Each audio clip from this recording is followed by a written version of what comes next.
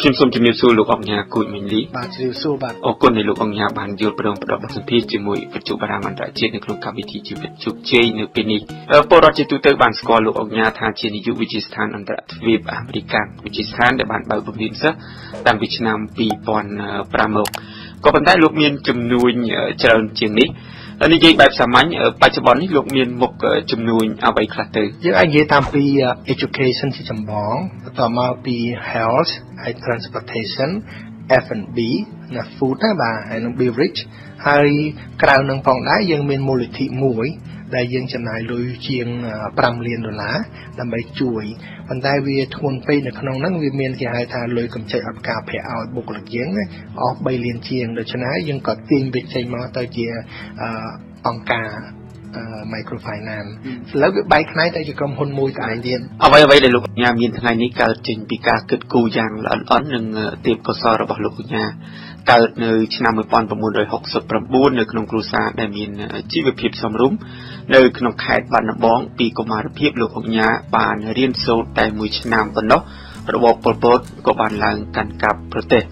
កុមារភាពនៅក្នុងរបបអាវខ្មៅតើលោកអុកញ៉ាចងចាំអ្វីជាគេបាទអឺ ការស្រែកឃ្លានយំស្រែកឃ្លានរាល់ថ្ងៃស្រែកយំហ្មងបាទហើយការលុតដំធ្វើការហត់ណាហត់គេវាយគេវាយឲ្យគេឲ្យយើងធ្វើការអាយុ6ឆ្នាំខ្ញុំចាំច្បាស់ដូចមនុស្សចាស់អញ្ចឹងគេទូនាទីខ្ញុំគេឲ្យចំមុតវាស្រែរើសម្រាមក្នុងវាស្រែ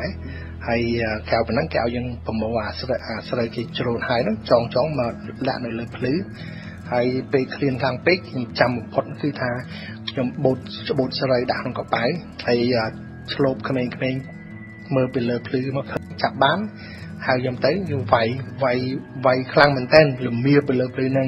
ហ្នឹងក៏ចងចាំខ្លាំងហ្នឹងក្រនតែបែករបបខ្មែរក្រហមភ្លាមនៅឆ្នាំ1979ឪពុកម្ដាយរបស់លោកអង្ញាដែលមានកូនកូន8នាក់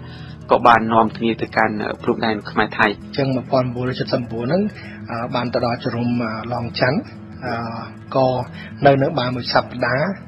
ក៏គេទម្លាក់ប្រជាជនខ្មែរយើងហ្នឹងរាប់ម៉ឺននាក់ធ្លាក់ទៅតាមភ្នំដងរែកហ្នឹងក៏ស្លាប់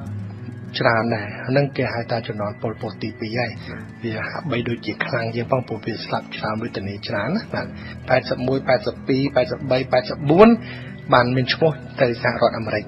បានទៅដល់អាមេរិកពេលនោះលោកអង្ញាមានអារម្មណ៍ថាដូចជាបាននៅឋានសួគ៌អញ្ចឹងជីវិតរំភើបហាក់បីដូចយើងរស់នៅឋានសួគ៌អញ្ចឹង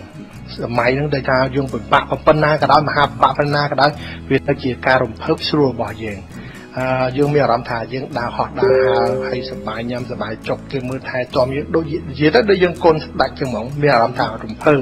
សូម្បីតែយើងនៅដល់ចរុំដល់ចរុំថៃហើយចូលចរុំហ្វីលីពីនដល់អាមេរិកនៅចរុំទៀត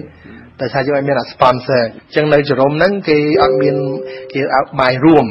ហើយគេយកសាច់យកម្ហូបយកមន់មកញ៉ាំសបោហៀហើយនៅនឹងទៅបងបងដែលថាអាយុច្រើនជាងខ្ញុំមួយឆ្នាំពីរគេដើររើសស្នាមតាម freeway តាមផ្លូវបាទរើសសម្រាមទៅបានលុយរើសតែតាមផ្លូវសបោលុយគេរុះហើយរើសសម្រាមមកយើង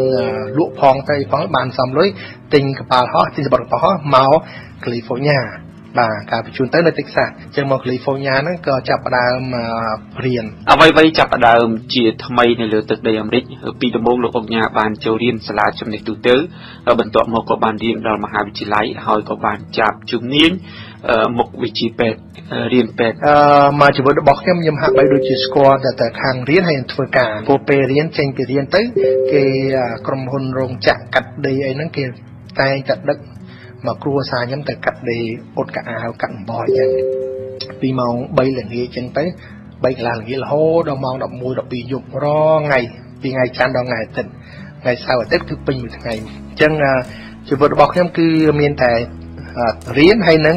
ធ្វើការរៀនធ្វើការប៉ុន្តែរៀនចប់ទៅក៏ខ្ញុំចេញមកជាសាស្ត្រាចារ្យពេទ្យ បរិញ្ញាខាងមុខវិជ្ជាពេទ្យខ្ញុំចេញឆ្នាំ1998ចាប់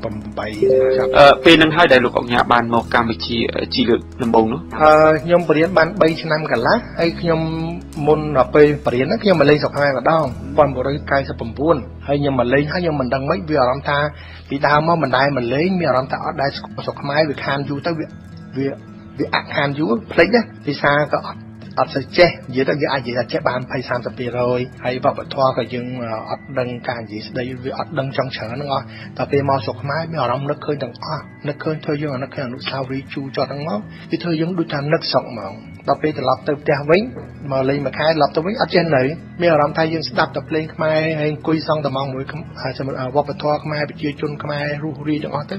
ថាយើងចង់មកវិញដល់ពេលអញ្ចឹង ចេះតែព្យាយាមហូបដាក់ពាក្យធ្វើការដល់ពេលបើកមើលកសែតទៅគេត្រូវការពេទ្យស្ម័គ្រចិត្តដែលចេះភាសាខ្មែរអញ្ចឹងក៏ខ្ញុំដាក់មកជាប់ជាប់ទៅគេបញ្ជូនមកជាពេទ្យស្ម័គ្រចិត្ត កាន់តួនាទីជាទីប្រឹក្សាផ្នែកខាងសុខភាពសាធារណៈមើលទៅលើ IMCI Integrated Management of Childhood Illness អាហ្នឹងឲ្យគេបញ្ជូនខ្ញុំទៅឆ្លងនៅខេត្តកញ្ចេះហើយធ្វើបានចប់មួយឆ្នាំចប់បេសកកម្មខ្ញុំដាក់ពាក្យទៅកន្លែងផ្សេងទៀតតែអត់តបានឆ្លើយក៏គេហៅខ្ញុំទៅបរិញ្ញានៅមហាវិទ្យាល័យមួយទៅបរិញ្ញាបានតែប្រហែលខែគេសុំខ្ញុំមកធ្វើជា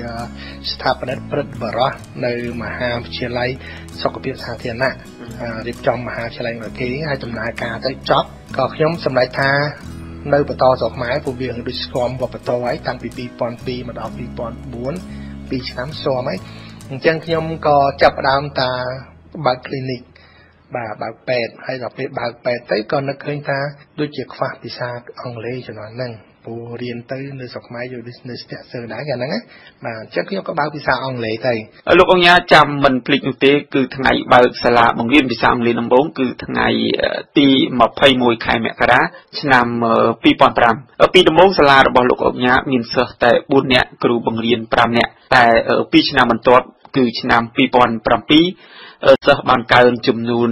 ជិត10000នាក់ចុះមកដល់ពេលបច្ចុប្បន្ននេះមានសិស្សចំនួនប៉ុន្មានអ្នកដែរដែលកំពុងសិក្សានៅក្នុងសាលារបស់លោកហើយសាលានេះមានសាខាចំនួនប៉ុន្មានដែរអឺឥឡូវនេះខ្ញុំមាន3សាខាហើយក្នុងវិសាខាវិសាខាមានគេហៅសាលារៀន2បាទសាលារៀនអន្តរជាតិអមេរិកដែលជាចំណេះទូទៅហើយនិងវិទ្យាស្ថានអន្តរជាតិអមេរិកដែលជាវិទ្យាស្ថានបណ្ដុះបណ្ដាលភាសាអង់គ្លេសកុំព្យូទ័រចិនអីហ្នឹងបាទអចឹងមួយ camper មួយ camper មាន2សាលាបាទហើយអញ្ចឹងទាំងអស់មាន2សាលាហ្នឹងមានមួយមួយតម្រាប់អាគារហើយមានសិស្សបច្ចុប្បន្ននេះ11000 600នាក់ជាងជាមួយនឹងភាពជោគជ័យបែបនេះលោកអុកញ៉ាគូចមីលីខ្ញុំមានចម្ងល់មួយចម្ងល់គឺថាលោកមានជំនាញខាងពេទ្យនោះទេក៏ប៉ុន្តែហេតុអ្វីបានជាលោកមកវិនិយោគនៅក្នុងវិស័យអប់រំនេះវិញខ្ញុំរៀនពេទ្យតែខ្ញុំធ្វើការស្ម័គ្រចិត្តតែបរិញ្ញា បរិញ្ញាតាំងពីវគ្គកាត់សពបរិញ្ញាខាងពីវិជ្ជាជីវៈពេទ្យបរិញ្ញាខាងសុខភាពសាធារណៈសិទ្ធិតងពេទ្យតពេលអញ្ចឹងបើខ្ញុំមកបើក clinic ហើយខ្ញុំមកស្រុកខ្មែរខ្ញុំធ្វើជាជាពេទ្យស្ម័គ្រចិត្តដល់ពេលចប់ខ្ញុំទៅបើកសាលាក៏តាក់ទងសាលាពេទ្យទៀតដល់អញ្ចឹងដល់ពេលខ្ញុំមកបើក clinic យើងបើកសាលាក៏វាតាក់ទងពេទ្យដែរក៏ប៉ុន្តែចែកចែកដល់នោះសាលាហ្នឹងវាជាធំឡើងធំឡើងតែអញ្ចឹងទៅសាលាវាដូចជា take over បាទប្រឡូកនៅក្នុងវិស័យជំនួញជាង10ឆ្នាំមកនេះគេឈ្មោះរបស់លោកអង្ញាត្រូវបានគេរាប់ថាជាអ្នកជោគជ័យមួយរូបតើមានកត្តាអ្វីដែលជំរុញឲ្យលោកអង្ញាទទួលបានជោគជ័យបែបនេះនោះទី1យើងព្យាយាមយកលមមហើយយើងបងគេលមមតាមទីផ្សារហើយចំណាយយើងគេហៅថាទិញរបស់ដែលជាចាំបាច់មិនមែនរបស់ដែលយើងចង់បានណាគេហៅថា need កុំឲ្យទិញរបស់ one ហើយបើយើងធ្វើចឹងទៅអាលុយសល់ហ្នឹងយើងកុំឲ្យ spend យើង reinvest បញ្ហាបញ្ហានៅស្រុកខ្មែរយើងឃើញកូនខ្មែរក្មួយក្មួយបងប្អូនដែលថាគាត់ដើរខុសហ្នឹងតែគាត់បានលុយវត្តគាត់ផ្លេចថាលុយលុយជាពាក់អីមិនមែនលុយចំណេញទេជាពាក់ថ្លៃទឹកថ្លៃភ្លើងថ្លៃផ្ទះបុគ្គលិកអាសរងអីចឹងអញ្ចឹងបើយើងគិតថាឡៃជាពាក់យើងអត់ហ៊ានចាយទេតែហ៊ានចាយយើងបងគេពេញតែពេញទៅវាដំណើរការសាលាយើង operation ល្អហើយក្រុមហ៊ុនយើង operation ល្អអញ្ចឹងបើ operation ល្អលុយចេះចូលមកទីអញ្ចឹងវាសល់ហើយបើសល់យើងកំចាយទេយើង invest ទៅលើមុខជំនាញរបស់យើង ចឹងដល់ឧទាហរណ៍បើថាសាលាយើងត្រូវទិញដីថែមទៅព្រោះយើងដឹងសាលាត្រូវការចិនត្រៃកន្លែងត្រូវការគៀចឹងយើងចិត្តទៅ reinvest reinvest ដល់ពេលចឹងភ្លេចខ្លួនក្នុងរយៈពេល10ឆ្នាំ11ឆ្នាំអឺយើងគិតមិនស្មានមិនដល់ដែរថាវាអាចធំដល់ប៉ុណ្ណាដែរលោកអុកញ៉ាមានអ្វីចង់ចែករំលែកដល់មនុស្សផ្សេងទៀតដែលកំពុងស្វែងរកភាពជោគជ័យដូចជាលោកដែរនោះអឺខ្ញុំគិតថាបងប្អូនវាច្រើនណាស់ណាក៏ជោគជ័យបានខ្ញុំហ៊ានធានា ឲ្យតែទី1យើងធ្វើអ្វីដែលយើងច្បាស់លាស់អ្វីដែលយើងចេះច្បាស់ហ្មងយើងយើងចាប់អារម្មណ៍ច្បាស់ហ្មងយើងចូលចិត្តយើងមានចំណងចំណូលចិត្តយើងមានចំណេះដឹងយើងមានជំនាញអញ្ចឹងមកគេថារៀនរៀនឲ្យរៀនអាមុខជំនាញណាដែលយើងចូលចិត្តខ្លាំងអញ្ចឹងគេថាឲ្យមានចំណងចំណូលចិត្តដល់យើងចូលចិត្តខ្លាំងយើងទៅរៀនយើងមានចំណេះដឹងតែយើងមានចំណេះដឹងយើងចេះមកធ្វើការយើងមានពិសោធន៍ដែលធ្វើការយូរយើងមានគេហៅថាជំនាញហើយដល់ពេលមានជំនាញ ជាងតរោស៊ីខាងហ្នឹងគឺកម្របរាជ័យព្រោះរបស់ដែលយើងចូលចិត្តខ្លាំងហើយរបស់យើងចេះច្បាស់ហើយរបស់ដែលយើងស៊ីជម្រៅបាន ដាក់ទៅវាដុះឯងខ្ញុំសូមអរគុណលោកអង្គញាគូចមីងលីដែលបានចំណាយពេលផ្ដល់បទសម្ភាសន៍ជាមួយកម្មវិធីជីវិតជោគជ័យរបស់វិទ្យុបារាំងអន្តរជាតិនៅពេលនេះខ្ញុំសូមរំលឹកជូនលោកអ្នកស្ដាប់យ៉ាងខ្លីថាលោកអង្គញាគូចមីងលីជានាយកវិទ្យាស្ថានអន្តរជាតិអាមេរិកខ្ញុំសូមជម្រាបលាលោកអរគុណច្រើនអរគុណលោកគ្រូដែលផ្ដល់ឱកាសចូលរួមសម្ភាសន៍នៅប៉ុស្តិ៍បារាំង